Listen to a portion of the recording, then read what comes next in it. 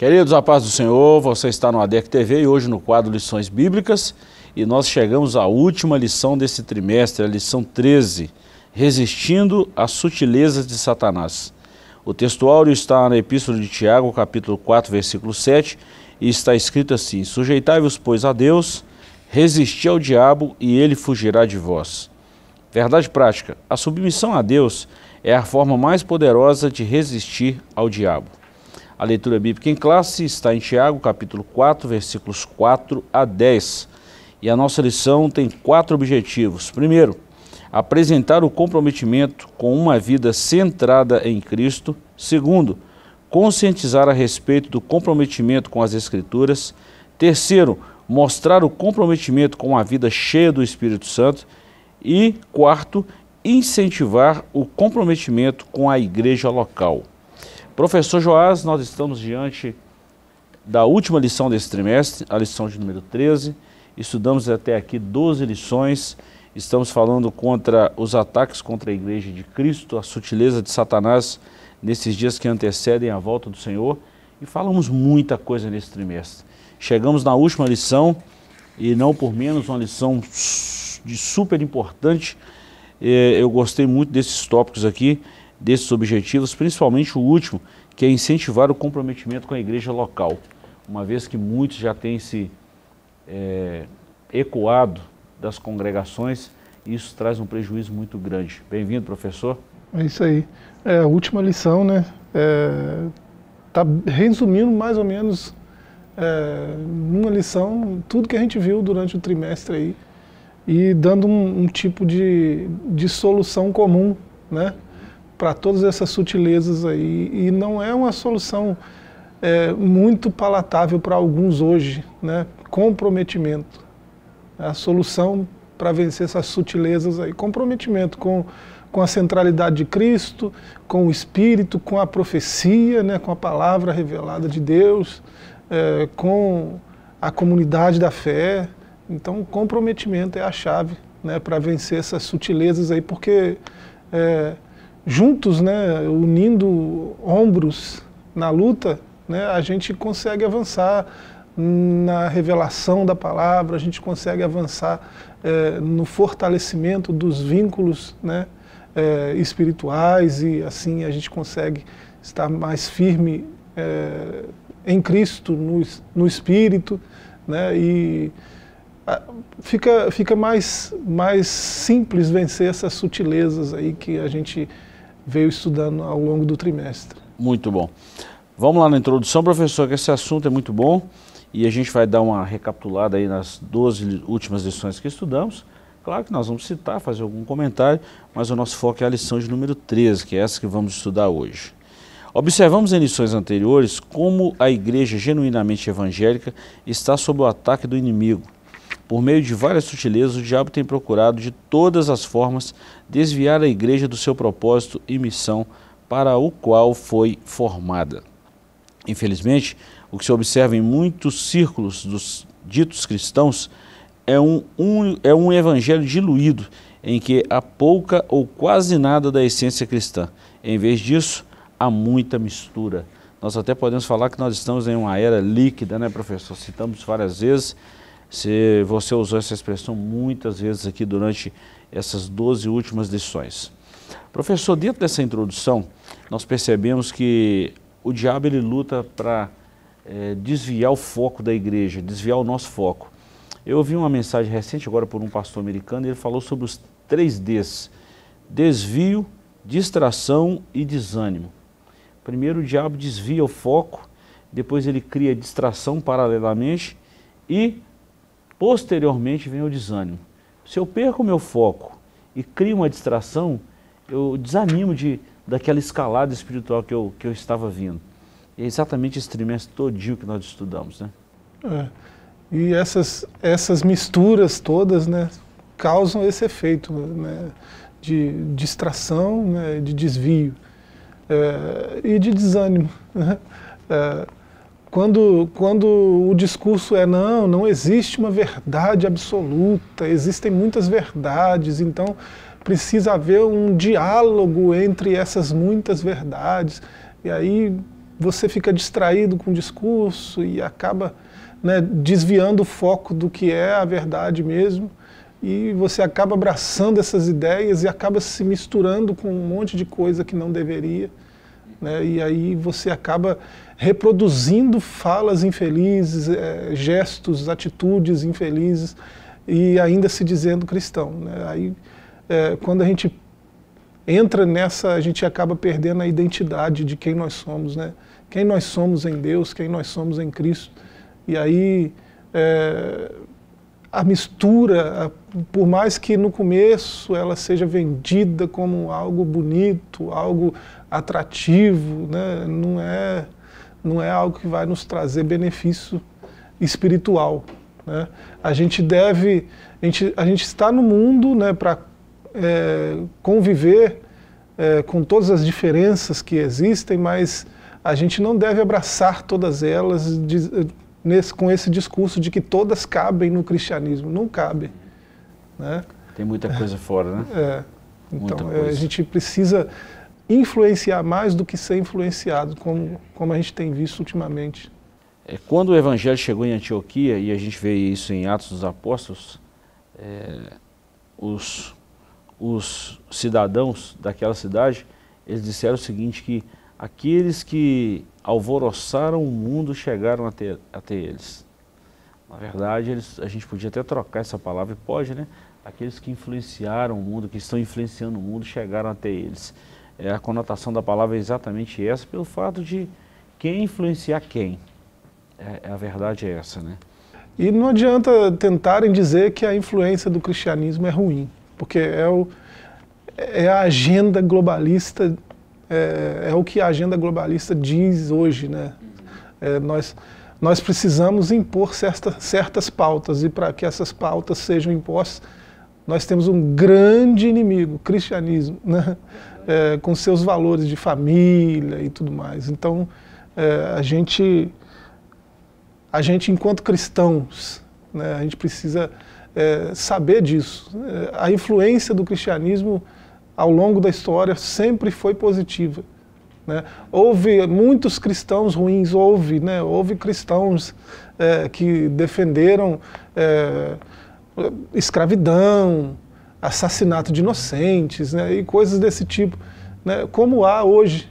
Né? Mas o, o verdadeiro cristianismo nos deixou legados é, muito importantes, né? nos deixou a, a educação nos, nos, moldes que nós temos hoje, né? nos deixou a liberdade de expressão nos moldes que nós temos hoje, né? e, e muitos outros valores que sem a influência do cristianismo nós não teríamos. A gente ainda estaria na época do obscurantismo, na época das trevas ainda até hoje. Né? É, eu ouvi um negócio do pastor Josué Martins, bem recente agora, ele falou sobre a justificação, a regeneração, né? a pregação do Evangelho.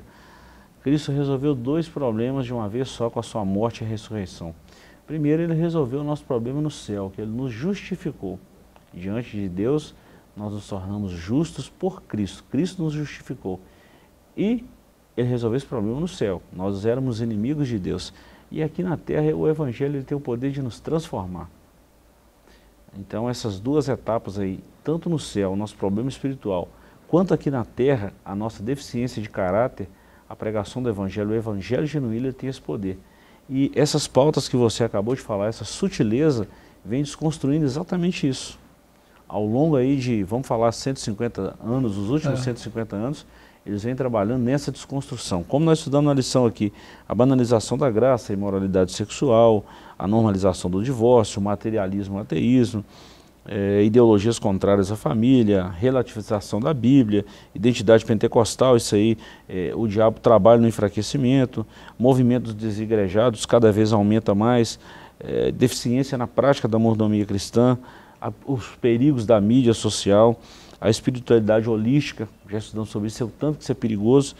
E aqui ah, o comentarista ele vem dando aqui um respaldo bíblico, como resistir essa sutileza, que é muito importante. É. Então a nossa lição é isso. É, e, e, e, muitas vezes para resistir, né, para não, não abraçar essa, esses discursos ruins, a gente precisa conhecer a história, conhecer os fatos, a verdade dos fatos, né? Porque senão tem, é, acontece o que nós temos visto, né? Muitos cristãos abraçando ideias completamente equivocadas, né? E, e muitos morrendo por causa disso, né? Muitos deixando de seguir a Cristo por causa de ideias, né? E aí é, isso é muito complicado, porque se você olhar com, com um olhar crítico, né, se você olhar sem preconceito para a história, você vai ver que, é, ao mesmo tempo que houve gente diz, se dizendo cristão, né, é, mas que, tem, que tinha centenas, milhares de escravos, né, nas paredes da casa grande tinha cristos esquecidos lá pendurados, como canta o poeta, né? É, tinha um crucifixo em cada casa, em cada sala da, da casa grande, na senzala também tinha. Né? Gente se dizendo cristã e oprimindo outros humanos que têm a, a, a mesma dignidade né, enquanto humanos. Mas é, se você olhar aí a, a, história, alguns vão dizer que o, o cristianismo é, sempre foi opressor e coisas desse tipo, né? e vão trazer esses, essas historinhas para ilustrar esse tipo de opressão, mas você olha da onde veio o discurso libertário, né? Da onde veio o discurso para abolir a escravidão? Né? Você vê homens como Wilberforce lá na Inglaterra, você vê é, homens como é, Agostinho lá, né, lá no começo da história da igreja, é, e você vê ao longo da história, né, lá do começo até hoje, né, até o fim dessa, dessa coisa horrível que é a escravidão, você vê cristãos verdadeiros, né, é, defendendo o ponto do Evangelho. Né, no Evangelho não cabe esse tipo de coisa. No cristianismo não cabe esse tipo de visão. Né, então, é, é, hoje, né, a sutileza está tão grande que assim, é, essas coisas são omitidas em detrimento do que a gente quer impor como ideia, como ideal né, uma vida sem Cristo no centro, sem o cristianismo atrapalhando. É o que é, o que é pregado hoje. A relativização de alguns contextos como esse aí, né, quase não se vê falar é, do 16º presidente dos Estados Unidos da América, Abraham Lincoln, Lincoln né, em 1862, foi reeleito em 1865 e foi um dos pivôs na, na abolição da escravidão, é. principalmente é. nos Estados Sul e foi assassinado por defender a causa. Depois disso a gente vê muitos outros, né? Por exemplo, o doutor é, Martin Luther King, que também foi um outro que deu a vida por Pastor, isso. né? Pastor, e muitos outros, né? É. Mas a história, vamos falar assim, a, a relativização exclui esses fatos importantes que são baseados nas escrituras, omitem esses fatos e vêm com outros muito grotescos, com o fim de banalizar. Bom, professor, é, o primeiro capítulo aqui da nossa lição, comprometimento com a vida em Cristo. O segundo, você já falou isso aí, comprometido com as Escrituras, uma vida cheia do Espírito Santo e, por fim, comprometimento com a igreja local. A base nossa, a nossa base é a base de todo cristão. Comprometimento com a vida centrada em Cristo. Ponto 1, um, Cristo Salvador e o 2, Cristo Senhor. Eu vou ler só um tópico aqui e a gente comenta. Quando um cristão ou igreja esfria ou se afasta da fé, Cristo é logo tirado do centro. Outras formas de culto, filosofias e ideologias passam a ganhar espaço quando Cristo deixa de ser o centro da vida. Bom, se Cristo é o centro da nossa vida, não vai haver espaço para nada disso aqui que eu acabei de ler. Quando Cristo não é o centro, tem que arrumar alguma coisa para ocupar o lugar onde deveria ser de Deus, deve ser de Deus. Isso preocupa muito, professor. Será que os nossos cultos, as nossas mensagens, a nossa oração, a nossa comunhão, a nossa convivência está realmente centrada em Cristo? Será que a igreja evangélica hoje no Brasil e no mundo pode dizer com veemência, com força, exatamente que Cristo é o Senhor, que Cristo é o centro da nossa vida? Pois é, eu tenho até medo de responder isso, é, mas são perguntas que a gente precisa fazer e, e tentar responder com, com sinceridade. Né? É, eu, eu acredito que para descobrir isso a gente tem que olhar para a pregação. Né? É, a pregação é o termômetro né, de como vai a vida espiritual da, da igreja. E quando você vê hoje querigmas é, dos pregadores mais conhecidos hoje, fica, você fica meio preocupado. Né? É, no topo lá estão filosofias humanas, ideologias humanas, é, política, né? e um monte de coisa. Aí você vê lá no cantinho Jesus. Né? É, os querigmas hoje são esses. Aí você vai para a escritura, o querigma de Paulo, né? Nada me propus saber entre vós a não ser Jesus Cristo. Um cara que sabe o que Paulo sabe. Né? Um cara que tem a mente que Paulo tem. E ele pode ensinar sobre qualquer assunto, qualquer filosofia, qualquer. Ele, tudo que ele fala é Cristo. Qual o querigma de Paulo? Cristo. Ele tem vários conhecimentos, né? Ele conhece os filósofos, os, os pensadores gregos, os, os, romanos, ele conhece né, da filosofia da sua época, mas o que ele, quando ele abre a boca para falar, ele fala de Cristo. Aí a mesma coisa que é com Paulo é com Pedro, é com é, Filipe, é com outros grandes pregadores. Qual que é o querigma deles? Cristo. Né? E aí você vê que Cristo estava no centro da igreja primitiva. Por que, que ela cresceu daquele jeito? Né? É, como Cristo era o centro, a mensagem dos pregadores, a pregação era Cristo. Né? Hoje a gente vê, fala-se de tudo, menos de Cristo. Né? É, tópicos co, como política são maiores do que Cristo. Então é, é complicado. É, a, a, inversão de valor é, é muito clara. A inversão de valor é muito clara e parece que é, a gente fala isso, professor, a gente corre um risco de como é que eu vou te falar de retaliação ou de uma repulsa? Exatamente pelo fato de simplesmente falar a verdade, a verdade que incomoda, a verdade do evangelho que incomoda. Hoje há muitos cristãos falando muito mais de política do, próprio, do que do próprio Cristo, que deveria ser a mensagem central, a coluna vertebral de toda a mensagem do cristão, deveria ser Cristo. E hoje há uma inversão. Não que esse assunto não seja importante, mas não é prioridade. É, não, nós estamos falando de centralidade. Não é que não Isso. pode falar de política, Isso, né? Exato. É, mas se você fala 98% de política e 2% de Cristo, qual que é o seu querigma? Né? O querigma é a mensagem central de um pregador, né? do, do querix. Né? É, então, se você fala muito de uma coisa, esse aí é o seu querigma. Então, a gente precisa se preocupar sim. Né? A gente tem que falar de política, de filosofia, né? de sociologia, do que for mas tudo tem que convergir em Cristo. Exatamente. Aí eu posso falar de política e terminar falando de Cristo. Posso falar de filosofia e falar de Cristo. Posso, né? Acho que o pessoal está entendendo. Me lembrei de uma frase muito importante de, de Gandhi, que ele falou uma vez o seguinte, creio no seu Cristo, mas no seu cristianismo não creio. Poxa vida. É, isso é muito importante é, quando a gente traz uma reflexão dessa, e alguém pode até estranhar a gente citar frases de pensadores assim, de pessoas influente na época em que foi, mas é exatamente pelo fato de não ver o brilho do Evangelho em quem está pregando o Evangelho. Isso, isso incomoda, porque é, Cristo é o nosso Salvador. E se Ele é o nosso Salvador, Ele também é o nosso Senhor. E se Ele é o nosso Salvador e o nosso Senhor, Ele precisa ser o centro da nossa vida. Ponto. Não tem o que discutir mais isso aqui.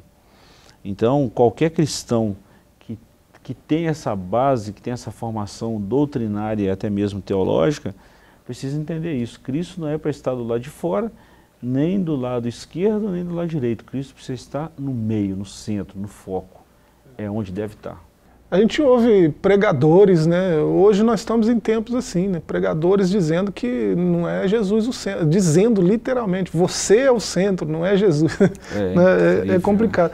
A gente vê teólogas, né? Como a, a Ivone Gerbara, né? É, para a gente ter uma, uma discussão é, interreligiosa eficaz, a gente precisa abandonar a centralidade metafísica do Cristo como único Filho, único Deus, né? único Filho de Deus. Né? A gente tem que tirar Jesus do centro, em outras palavras. Né? É, então você vê de pregadores pentecostais a filósofas e teólogas feministas, como é o caso da Ivone, é uma freira, né? É, nada, nada assim, nenhuma crítica à igreja, porque tem é, teólogas feministas na igreja cristã do Brasil, né? Tem uma bem conhecida, eu tenho citações dela aqui, né? A, a Luz Marina Garcia, que é luterana, tem uma das cristã do Brasil que é a Home, é, Home Bank, Igreja Cristã do Brasil. Então tem, teó, tem teólogas feministas, olha só, né, uma contradição de termos, né? Muito. Teologia feminista, né, uma contradição de termos. Como que se defende teologicamente é, o direito de matar um ser inocente sem defesa nenhuma, completamente é, é, dependente né, daquela pessoa que, é a, que está sendo seu assassino, seu algoz. É, é, não dá para defender isso teologicamente, é mas tem uma teologia feminista, olha só, né, e tentam tirar Jesus do centro, porque Jesus atrapalha esse tipo de ideia. É, um Jesus é um empecilho tanto para essas ideias malucas. Tem um texto na Bíblia que diz que somente há um agora que impede a manifestação do anticristo, até mesmo assim que atrapalha a manifestação. E a gente sabe quem é, né? É o Espírito Santo que está na vida da igreja. Então, quando, quando a igreja for tirada pelo Espírito Santo, a gente vai ver o Ministério da Impiedade operar 100% na sua é. força total. Professor, dá uma segurada aí. É, nós vamos para um breve intervalo, voltamos já já com a segunda parte dessa lição maravilhosa e eu te convido a não sair daí. Voltamos já já.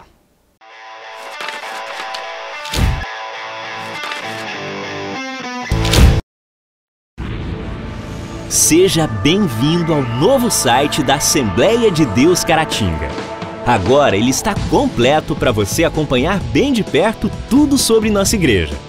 Nele você encontra um pouco de nossa história, onde nós estamos, nossos horários de cultos e endereços de nossas filiais. E ainda você poderá fazer seu pedido de oração, sua contribuição, acompanhar nossas notícias, entrar em contato conosco e muito mais. Mais uma forma de você acompanhar tudo o que acontece na Assembleia de Deus Caratinga, de onde você estiver. Acesse agora assembleiadedeuscaratinga.org. Uma verdadeira história de fé, renúncia, desafios e conquistas. Você irá se emocionar e extrair lições extraordinárias da biografia de um dos mais expressivos líderes do movimento pentecostal no estado de Minas Gerais. Recomendada por influentes líderes cristãos. Adquira agora mesmo Ari Coelho, um legado de fé e descubra detalhes de uma história de vida que pode transformar a sua. Um produto com a qualidade CPAD.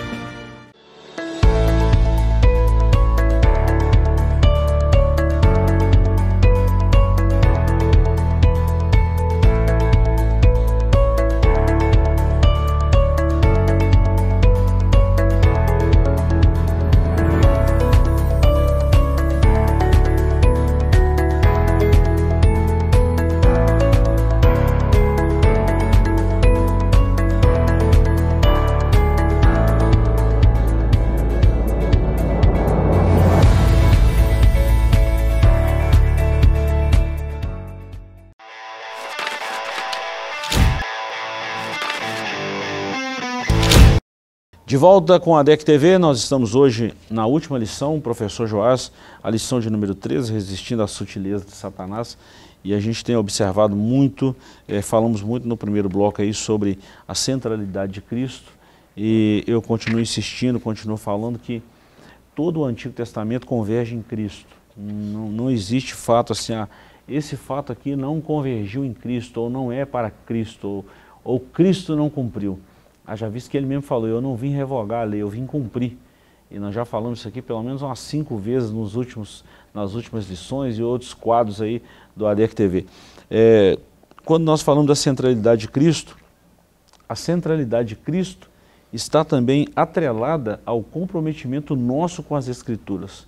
E eu vou falar o porquê, porque Jesus falou, é, examinar as Escrituras, porque vocês vão encontrar nelas a vida eterna e são elas que testificam de mim. E ele estava falando de qual escritura aqui? É, Jesus é revelado no Antigo Testamento. Pois né? é, então tudo é, converge nele. A Escritura é a revelação de Deus. Toda vez que ele falava a lei, os profetas, Escrituras, né, é, do sangue de Abel ao sangue de Zacarias, ele está dando testemunho do Antigo Testamento. Né? É, o que hoje para nós é muito mais amplo, porque aí vieram os apóstolos, né, e replicaram o que Cristo disse, trouxeram iluminação para os textos do Antigo Testamento e produziram novos textos. Né? Então hoje a gente tem uma revelação maior ainda. Então é, é, Jesus, Deus é revelado nas Escrituras e a gente deve é, se comprometer com o que as Escrituras estão dizendo. Bom, professor, como a gente fala que ama a Deus e não ama a sua palavra? Que Deus tem diversas formas de falar com a gente, né? Deus fala com a gente através da palavra, através da oração, através de um testemunho, até mesmo das coisas criadas. Paulo escrevendo aos Romanos, versículos, capítulo 1, versículo 16 e seguir, ele fala que até as coisas criadas dão testemunho da criação da obra de Deus. Agora, a forma de nós falarmos com Deus é só através da oração, nós comunicamos com Deus através da oração. Mas uma das formas de Deus falar com a gente é a palavra de Deus. Como eu falo que amo a Deus e não amo a sua palavra? Não leio, não tenho contato com a palavra. Então, nesse capítulo 2 tem dois tópicos aqui. Primeiro, a Bíblia, a revelação de Deus. E segundo, a Bíblia, regra de fé e conduta. Dentro desse primeiro tópico aqui, vez por outras vemos falsos mestres questionando a autoridade das Escrituras e sua atualidade. No entendimento deles, a Bíblia contém a palavra de Deus. Isso é uma afirmação maligna. A Bíblia não contém, a Bíblia é a palavra de Deus. É, Assim, há uma tentativa consciente e sistematizada de minar a autoridade das Escrituras. Na verdade, esse ataque é contra as Escrituras como revelação de Deus para o homem. Então, se a gente falar que a Escritura é revelação de homem para homem, está tudo ok. Mas eles não se submetem ou não aceitam é, quando a Bíblia dá, esse, dá essa afirmação que a Bíblia é a palavra de Deus, é a revelação de Deus ao homem. Deus comunica com a gente através da palavra. Isso precisa ser combatido, viu, professor? É o próprio verbo encarnado, né, lá em Mateus 4, ele falou que, com essas, essas palavras mesmo. Né, a escritura é a palavra de Deus. Né? É, e, e, se ela é a palavra de Deus, embora não é novo essa coisa de, de minar a autoridade das escrituras, é, lá desde o Éden a gente já vê isso, né, com a, com a serpente, tentando é, dizer que Deus disse outra coisa do que ele realmente disse, né? É, tentando minar autoridade, a autoridade das palavras de Deus né? e transformando o que Deus disse em alguma outra coisa um pouco diferente né? para tentar derrubar né? a criação de Deus. É, isso não é novo, né? mas a, a a novidade, né, a sutileza está, porque nunca antes teve essa ideia tão esquisita que nós temos hoje, de ajustar a escritura ao que a gente quer. Né? É, essa ideia é uma ideia nova. Né? Os ataques sempre ocorreram né, para tentar minar a escritura, desacreditar né, e tal. Isso aí sempre aconteceu. Mas agora isso acontece e ainda tem essa situação que é nova de não, é, eu faço isso, isso e isso, e eu sei que isso está errado porque a Escritura diz que está errado. Então o que, que tem que mudar? Eu tenho que mudar e parar de fazer isso e isso. Não. Eu tenho que ir na Escritura e dizer que não é mais errado fazer isso, isso, isso, porque isso era errado na, naquela época, agora não é mais. Né? Então é, é, essa, essa coisa é uma coisa nova, de tentar adequar a Escritura ao que eu penso. Isso é muito novo. É, e não preciso dizer o quanto é pernicioso, né? o quanto é maligno isso. Né? É, então, é, tem coisa que é tão óbvio que a gente nem quer falar. Né? Mas, Vamos falar assim, professor, é novo e diabólico, né? Eu não vou falar novo, novo é na nossa óbvio. geração, né? Porque é uma prática antiga. Mas novo para alguns que estão chegando agora, para quem está chegando agora, isso é novo, mas é uma prática muito antiga de Satanás em torcer, perverter, torcer. tirar, aumentar, é, hum. é, nunca manter o original. Né? Nunca manter a prescrição original. Agora, professor, é, é, outra, outro fato muito importante aqui, a Bíblia regra de fé e conduta, quando a Bíblia deixa de ser a revelação de Deus para nós, então ela também deixa de ser a nossa regra de fé e conduta. Rapaz, eu começo a observar, e eu falo aqui como pastor, é, o tanto de gente que não anda mais segundo o que a Bíblia diz, anda segundo o que o estilista diz, um que um designer diz, um o coach, um, o filósofo. Um, um coach, o filósofo. Eu vou falar algo mais o aqui. Pregadorzinho da internet. Exato, mas até mesmo o que as cartas dizem, o que um cigano diz, tem muita gente que, que vai Os búzios. Os búzios, os tarôs, é, horóscopo. Isso é muito sério. Então, a gente está falando aqui, parece que é algo assim, não, parece que o pastor está falando tão longe. Não, nós estamos falando de coisa perto de nós a nossa regra de fé e conduta, eu dei esses exemplos aqui exatamente para mexer, para instigar a, a, os neurônios, a mente de quem está nos ouvindo, até mesmo a nossa, para mostrar que tudo isso deve ser descartado e nós devemos seguir o que a Bíblia diz, o que está escrito na Bíblia. Ponto. Não tem discussão nisso aqui. Não tem discussão. Por isso a necessidade de perverter o que já está escrito. Se eu consigo alterar ou mudar, adequar isso aí ao meu bel prazer, pronto, aí eu consigo adequar, eu consigo fazer o que a Bíblia está escrito. Se eu não faço, automaticamente eu estou descartando o que a Bíblia diz, o que o Espírito Santo diz. Eu estou entendendo exatamente o que o senhor está falando, é, é, mas alguém pode interpretar de outra forma, mas é, é assim, o que está escrito, né? Salmo 119, 105. Né? A palavra, ela, ela lança luz sobre um, um caminho perfeito para nós, né? e nós conseguimos ver, ali está o, o caminho que é para mim, perfeito, é justo, é reto, isso aqui vai dar certo, não tem como dar errado. E a Bíblia lança essa luz sobre esse caminho. Mas é, enquanto eu estou caminhando para lá, ela também lança luz sobre os meus pés, né, sobre o caminho onde eu estou passando agora. Então ela me mostra o futuro que me espera e me mostra é, os erros que eu devo evitar, né, os, as pedras que eu, que eu, das quais eu devo me desviar agora para conseguir chegar lá. Então ela é luz para o caminho e lâmpada para os pés. Né? Então é a Bíblia que molda a minha vida. A minha trajetória é ditada pela Escritura não, é, não sou eu que moldo a escritura. Vou lá e eu estou andando assim, então vou escrever aqui que o jeito certo de andar é assim. É assim que dá não, certo. não é. Inverteram a lógica. Mas é, é quem, quem, procura esses recursos que a gente falou aí, né, búzios, cartas é, e tudo mais, não são bons, é, né? Tá querendo ver essa, esse caminho lá na frente, né? Tá tudo turvo, tudo escuro aqui e lá não, a pessoa não tem perspectiva de futuro, aí ela procura nessas coisas. Os ímpios fazem assim. Isso não é coisa para cristão, porque o cristão tem a escritura. Né? O que a gente está falando aqui é isso. Quem recorre a isso, que recorra, mas um cristão genuíno. Né, não precisa disso. É, é, é contraditório, uhum. porque é, a Escritura mostra os, o caminho a ser alcançado e o caminho a ser seguido no presente. Ela mostra todos esses aspectos né, estão patentes diante de nós, né, não estão distantes. É, e ele mesmo, o Criador, né, diz: Eu que sei o pensamento que tenho a vosso respeito, pensamentos de paz e não de mal, para dar o fim que desejais. Então, é, a gente tem essa esperança de futuro, a gente não precisa se guiar por outras coisas que não sejam a palavra de Deus. Ótimo. É, eu, eu, eu falo muito desse Salmo 119, 105, exatamente é, é, lâmpada para os meus pés é a tua palavra. É, como chegar? E luz para o meu caminho, onde chegar? Então a Bíblia mo mostra onde eu vou chegar e me mostra também como eu vou chegar. É a nossa regra de fé e conduta. Ponto. Não tem que discutir isso aí.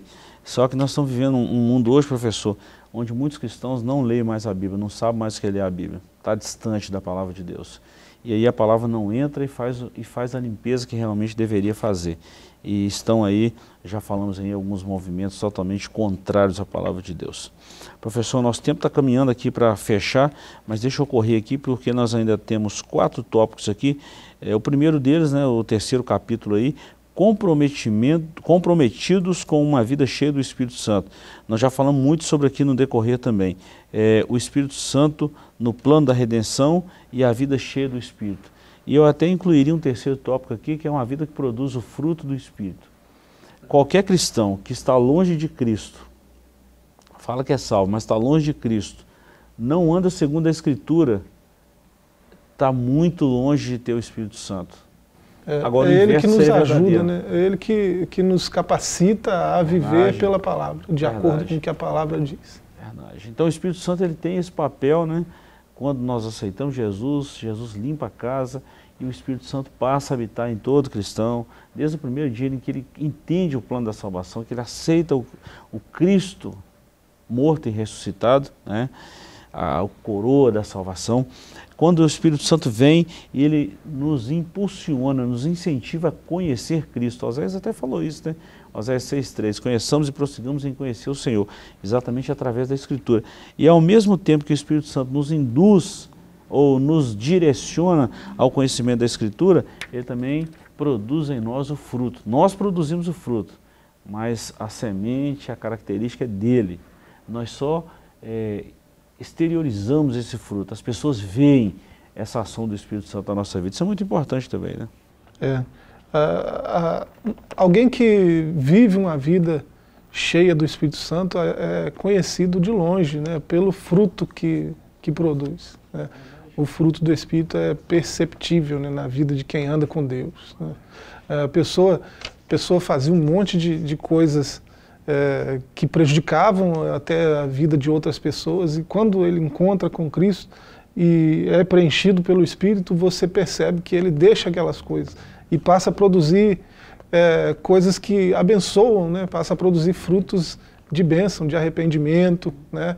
um caminho completamente inverso àquele que ele vivia. Né? Isso é, a gente conhece muitas histórias assim, né? e a gente pode falar do que vê. Né? A gente que vê. O Espírito Santo, ele transforma pessoas, transforma temperamentos, né? transforma é, corações e mentes né? para a glória de Deus. Eu quero até aproveitar essa oportunidade para falar, nós estamos numa, numa, lição de escola bíblica, mas quem está em casa, por exemplo, e falar assim, gente, mas que tanto de coisa que já falaram lá, e muitas doutrinas, por exemplo, como nós falamos de Cristo, na teologia nós ensinamos a Cristologia, é, sobre o Espírito Santo nós ensinamos a pneumatologia, e sobre as Escrituras a Bibliologia. É, quem tiver interesse de saber um pouquinho mais da Bíblia, de como entender a Bíblia, de como estudar a Bíblia, está aí o nosso Instituto Ibafec. Nele você pode estudar aí todas as, as, as doutrinas básicas da nossa é, fé cristã, da Bíblia, da Palavra de Deus. Então, faça contato na nossa secretaria, 3321-3951 e procure saber mais detalhes e vem estudar com a gente aí teologia, uma teologia séria e que tem compromisso com a pregação do Evangelho. Professor, fechando o programa de hoje, nós vamos falar sobre o comprometimento com a igreja local, a igreja como corpo de Cristo e o lugar e a importância de cada membro na igreja. Professor, nós já falamos muito sobre o movimento dos desigrejados.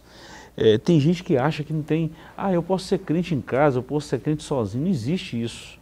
Eu sou igreja sozinho. Sozinho ninguém é igreja. Sozinho nós somos pedras, nós, mas juntos nós fazemos parte do edifício, onde Cristo é o cabeça, o corpo de Cristo.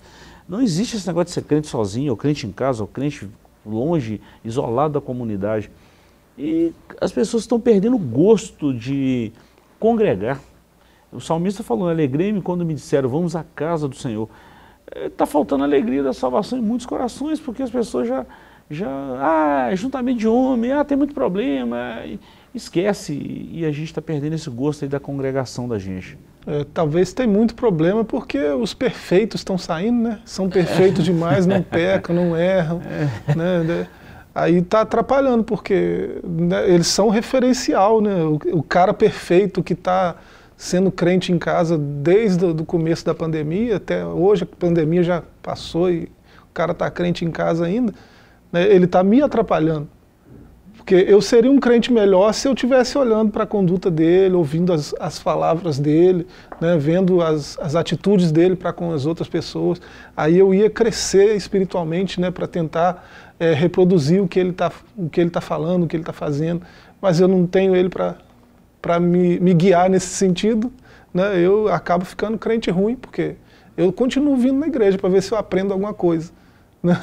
É, então, é, não precisa dizer o que a gente já disse aqui várias vezes, né? Olha lá 1 Coríntios 12, 13, 14, vê se Deus não deu dons para cada um.